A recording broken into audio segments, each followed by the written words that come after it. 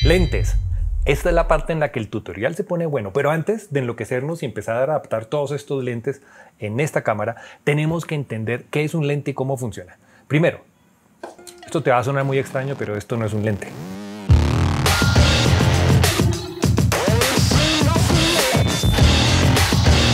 Esto es un conjunto de lentes. Esto, esto sí es un lente. Bueno, realmente es una lupa. Toda lupa es un lente. Y en realidad lo importante es que entendamos cómo funciona este lente, cuántos componentes internos y qué uso nos está dando. Los lentes vienen por apertura, o sea, qué tanta luz les puede entrar, por el tamaño del sensor, o sea, vienen diseñadas para una cámara de sensor grande, para una cámara de sensor pequeña. Y lo otro por lo cual vienen diseñados es por el tipo de componente interno. Hay algunos lentes, por ejemplo, como este, que son de tambor fijo. Lo reconoces porque tú giras esta parte y se mueve la parte de adelante y la parte de atrás. O hay otros lentes que son de eh, elementos variables internos como este que vemos que cuando giramos no se mueve ni la parte de adelante ni la parte de atrás. Quiere decir que cuando estamos moviendo esto hay un componente interno que se mueve entre los dos lentes.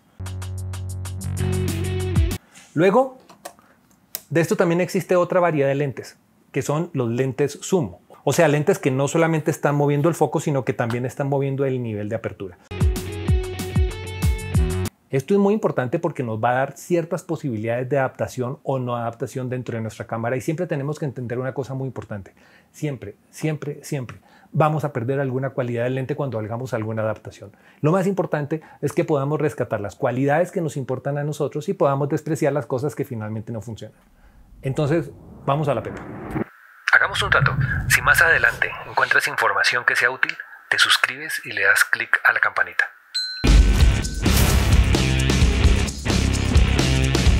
Primera pregunta, probablemente la más importante, la que me repiten todos los días. ¿Cómo hago para saber si este lente antiguo funciona en esta cámara moderna? El truco es muy simple. Lo primero que tienes que hacer es pones el foco del lente en infinito y abres el diafragma al máximo. Abres tu cámara y pones el lente enfrente de la cámara. El truco es que yo empiece a mover el lente hacia adelante y hacia atrás. El siguiente truco es voy a ponerle un trapito negro encima y esto me permite visualizar mucho mejor porque ya no me entran destellos. Entonces aquí ya puedo ver si el lente me está tocando al fondo o no. Bienvenidos a otro increíble tutorial de cine recursivo, la comunidad donde encontrarás todas las herramientas para cine recursificar tu película. Sucede que los lentes vienen diseñados para tener esta distancia específica y cuando colocamos cualquier adaptador lo que estamos haciendo es separando el lente del cuerpo de la cámara. Para que entendamos mejor, cuando el lente lo ponemos hacia afuera, estamos pasando al área de macro del lente y estamos perdiendo la capacidad de enfocar en el infinito. Podrás enfocar cosas que están cerca, pero no vas a poder enfocar fondos. Cuando estamos hablando de un tele es menos sensible porque el punto de infinito, la distancia que te puede dar para poder trabajar es muy larga, pero cuando estamos trabajando con lentes abiertos como este es crítico porque quedarías con un lente que te funciona muy cerca. Bueno, antes de arrancar hay que tener en cuenta tres cosas. El tamaño del sensor o el tamaño del marco para el cual está diseñada la cámara, el tipo de rosca del cuerpo de la cámara y a qué distancia se encuentra el sensor o la película de la rosca de la cámara. Por ejemplo, esta cámara es una cámara full frame, está diseñada para un 35 milímetros. Si vemos acá nos damos cuenta que es un sensor más o menos de este tamaño.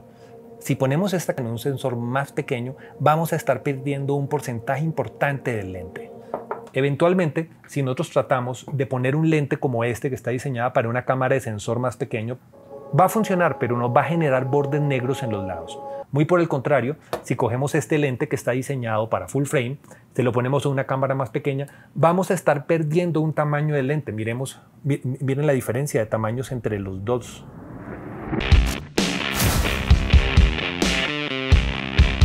Si estamos trabajando con un lente moderno, lo más probable es que perdamos parte de la electrónica cuando cambiemos entre marcas.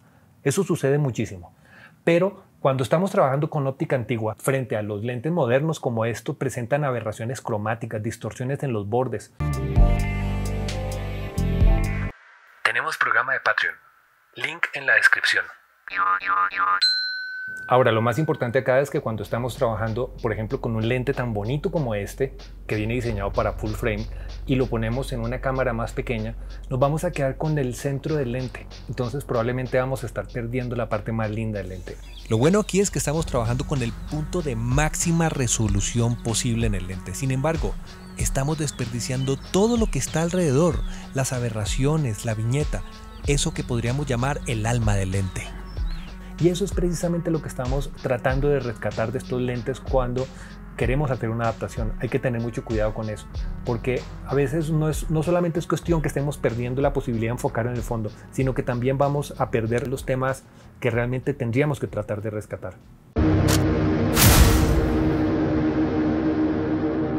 Lo siguiente es el tipo de rosca de la cámara. Ahora, probablemente lo más importante que hay que tener en cuenta es la distancia que existe entre el sensor, o sea, me refiero al lugar donde se recibe la imagen y la montura. Esta distancia siempre va a ser regular para una marca de cámara específica. Pero cuando estamos adaptando lentes antiguos hay que tener cuidado con eso.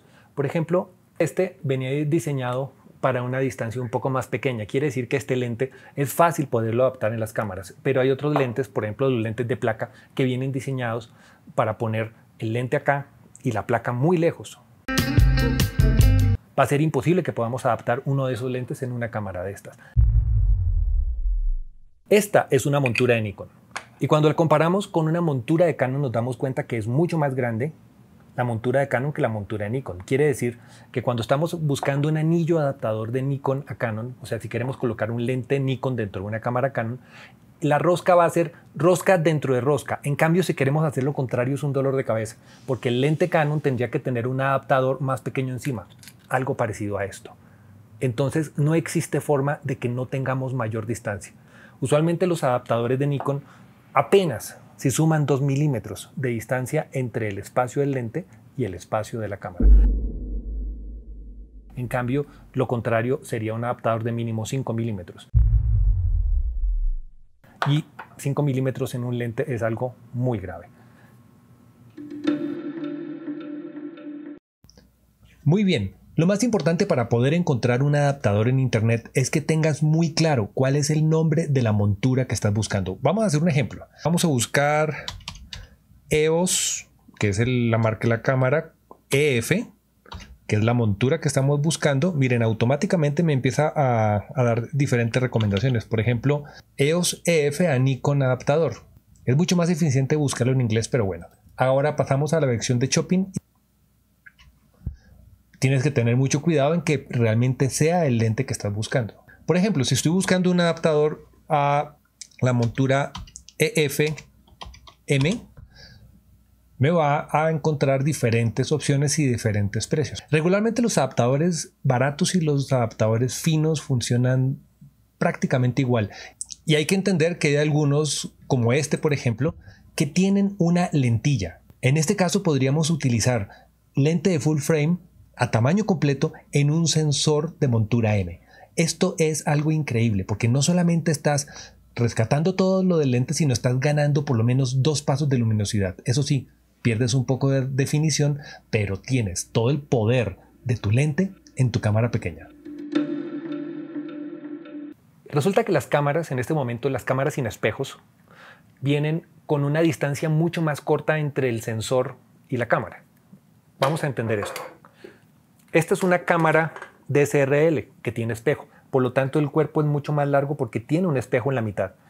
Las cámaras modernas ya no tienen el espejo y la montura del lente queda mucho más cerca del sensor. Por lo tanto, cuando vamos a colocar un lente diseñado para estas cámaras, toca poner un adaptador como este. Lo que hacen es emular esto como si fuera la parte del lente que va contra la cámara y recibir toda la electrónica por medio de estos pines dentro de la otra cámara. Realmente es un poco tonto tratar de ponerse a hacer uno de estos adaptadores, pues porque ya vienen diseñados. El problema es que muchas veces no vas a encontrar el adaptador que necesitas y ahí no hay absolutamente nada que puedas hacer. ¿O sí?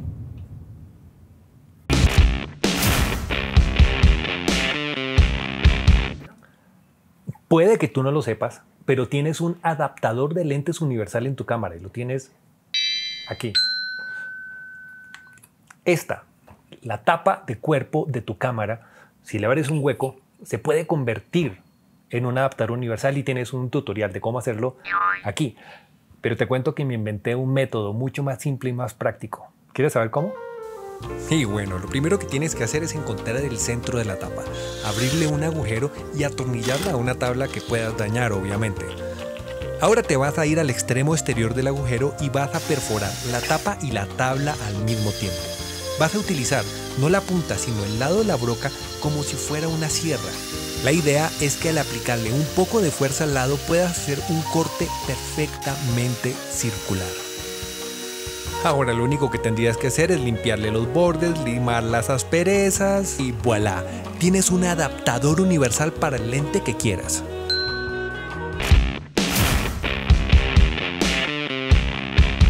Pero bueno, cuando vas a adaptar un lente antiguo para poderlo usar en video, hay dos consideraciones importantes a las que les tienes que parar bolas. Tratarías de quitarle los puntos que tiene el diafragma para que el movimiento sea fluido, que es un poco lo que hice en este. Obviamente esto no es tan sencillo y muchas veces toca desbaratar todo el lente para llegar a un pequeño balín que es el que crea esos pasos en el diafragma. Pero el segundo paso es mucho más sencillo. Lo único que tenemos que hacer es buscar todos los elementos mecánicos y de electrónica que no vamos a usar en nuestro lente. Principalmente hay que llegar a esos engranajes que están conectados al servomotor. En realidad el proceso es muy sencillo. Quitar todos los tornillos, quitar todos los piñones, hasta quitar todos los cables, motores y elementos que no sean necesarios. Con esto el lente va a funcionar de una forma fluida. Aquí lo único que resta es terminar de armar el lente nuevamente y con esto podríamos utilizarlo en nuestra cámara para hacer video. Comercialmente venden estos. Son anillos extensores para desarrollar macro con lentes estándar. Yo, por ejemplo, cojo este lente, monto acá y esta extensión hace que esté trabajando con un macro muy, muy detallado. Y esto me va a permitir hacer cosas muy precisas.